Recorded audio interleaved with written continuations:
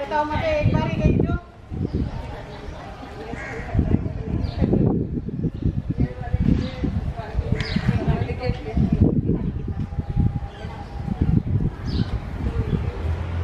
Train से जाऊँगी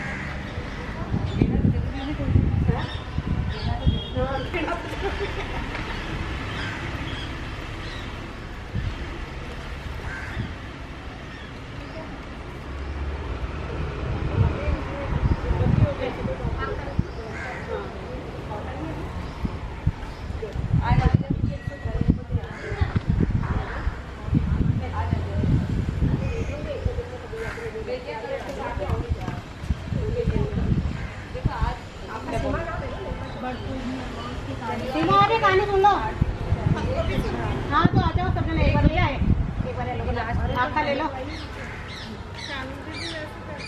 हाँ, हाँ, हाँ।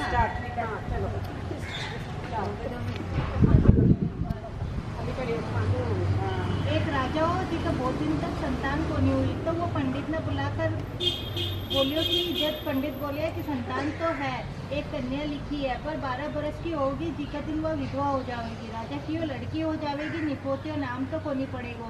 बाद में पंडिता का कहन से वो होम यज्ञ करवाया। यज्ञ होम कराने से राजा का एक लड़की हुई जी को नाम सावित्री राजा सावित्री हर साल एक बड़ सायन तमावस और पार्वती की पूजा पूजा करती।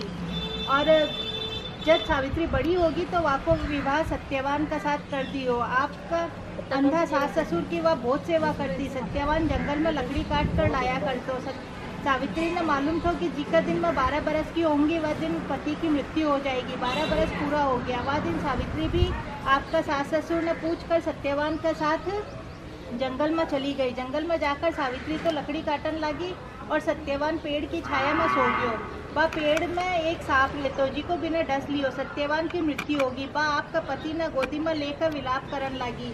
शंकर पार्वती बठीरने से जावा, हा, सावित्री ऊना का पग पकड़ कर लिया और बोला कि मेरे पति में जीवा दो। शंकर पार्वती जी बोले कि आज तो बड़ शायद तमावस है। जी को तो बड़ की पूजा करेगी तो तेरो पति जी जावेगो। पीछे वह खूब प्रेम से बड़ की पूजा करी पत्ता का गहना पहना कर पहने गहना हीरा मोती का हो गया, धर्मराज आकर विका पति ने ले जाने लाग्यो तो वह विका पग पकड़ लिया। तब धर्मराज बोलियो कि वरदान मांग। जब सावित्री तीन वरदान मांगे, मेरे सास ससुर ना आत्मा मिल जावे, मेरे माँ बाप का पुत्र हो जावे और मेरो सत्यवान से सौ पुत्र हो जावे। धर्मराज जी बिना वरदान दे दिया। बाद में सत्यवान ने ले जान ला गया तो सावित्री कियो कि आप मेरा पति न ले जाओगा तो मेरे पुत्र कहीं होसी धर्मराज कियो तेरो सुहाग तो कोनी थो पण तू बड़ पा- अमावस की पूजा करी पर पार्वती जी की पूजा करी तो तेरे हो गयो हे। भगवान बड़ सावित्री, बिना सुहाग दियो जैसो सबने दी जो कहे, सुनो पुकारा भरता ना आपका सारा परिवार न की सेवा पूजा करती पूजा करते हुए बहुत दिन हो गया। गणेश महाराज बोले, अपनी हमारी कुछ मांग, जिसके भाई करे जाकर पूछो, आपके बेटा न जाकर पूछो।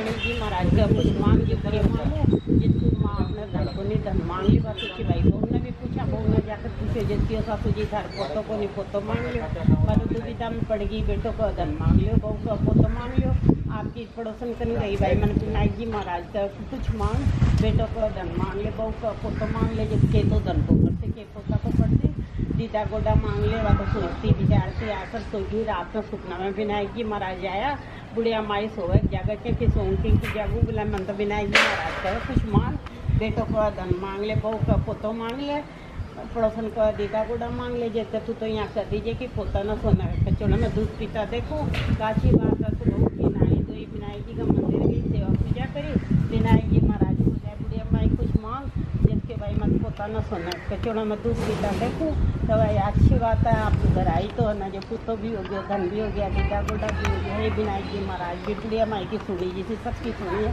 कहता सीता उकारा बढ़ता करती हो पूरी करी हो कभी ऊपर से लपकी पक्षी हो एक पक्षी माता बुलाना बात दिखलाना ले आई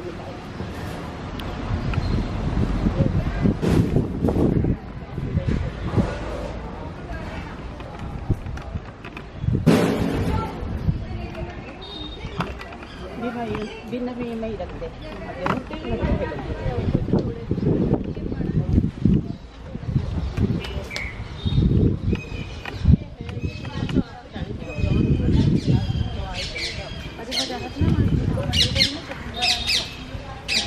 ये तो काफ़ी देर में नीचे वाला पकड़ जा रही है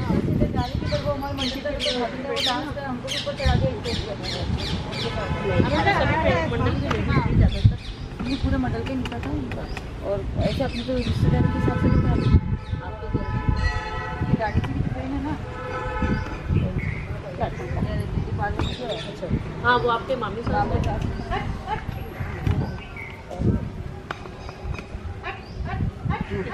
मैंने कहते थे मामा की एक बार अरे मैंने एक बार बच्चा की काम से। मम्मी बोलिए मैं देऊँ कहा हैं इनको चलेंगे सुबह वन के दस बजे के तो बिल्कुल आप यहाँ भी टाइम टाइम है दोनों का टाइम वो तो हँसी नहीं थी मामा जी को मैंने कहा क्या एक ही दिन कर अच्छा किया।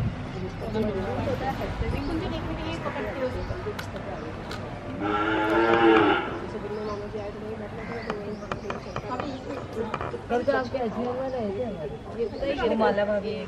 से निकलते हो हाँ। तो वो जो भी शादी में जाके आई ना। अपने तो एक ही लेते ना। ले। के ना तो उसी का लड़की की उसकी लड़की की शादी थी अपने तो एक ही लेते ना। हाँ बस ये फिर से ये। हाँ जी हाँ।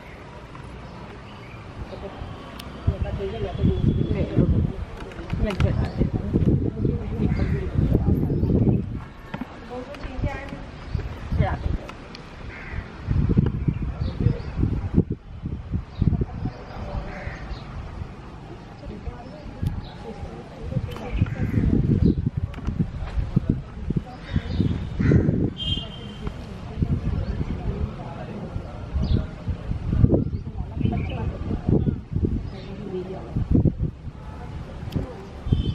नीचे से नीचे ही पड़े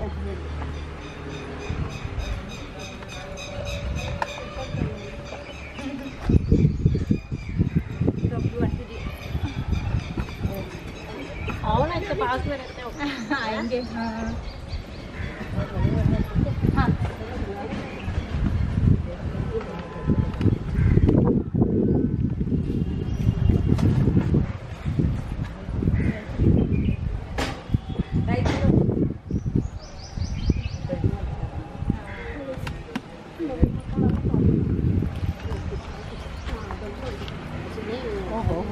ओहो क्या बात है। बस बढ़िया।